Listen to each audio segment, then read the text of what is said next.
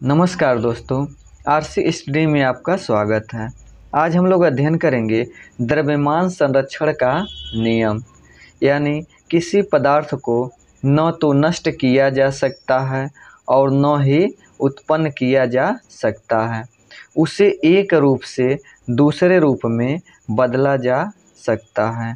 उसे द्रव्यमान संरक्षण का नियम कहते हैं, या इसे ऐसे भी बोल सकते हैं कि रासायनिक अभिक्रिया के पहले अभिकारकों के द्रव्यमान का योग रासायनिक अभिक्रिया के फलस्वरूप बने उत्पादों के द्रव्यमान के योग बराबर होते हैं।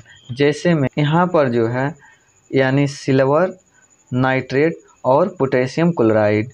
और फिर यह जो है अभिक्रिया के पहले का है और फिर अभिक्रिया के बाद पोटेशियम नाइट्रेट और सिल्वर क्लोराइड का निर्माण हो रहा है।